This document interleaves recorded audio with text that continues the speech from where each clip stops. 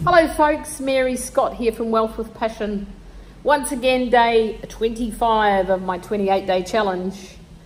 And you know, I was thinking over the weekend about how important it is about decluttering your life, decluttering your business, decluttering your mind, decluttering your office.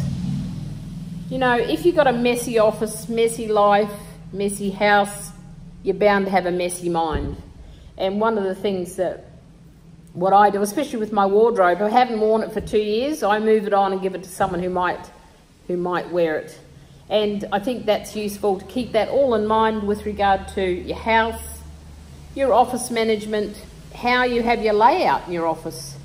If there's any clutter of any form, it really does cut down your efficiency. So I think let's all review our offices, our life, our business, and most importantly, review your mind. See what's in there that's cluttering up all your thoughts and see if it can give you more clarity. And one of the things I do, which I find very useful, is if especially if I'm very busy and my mind's very busy, and I might just do what I call a brain dump, and I just write down everything, read it, either rip it up or I burn it, and then I'm able to move on from most of those sorts of things. So brain dumps are good.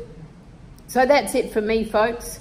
Declutter your life, declutter your business, declutter your wardrobe, and certainly declutter everything in your office. And most of all, be positive and be awesome.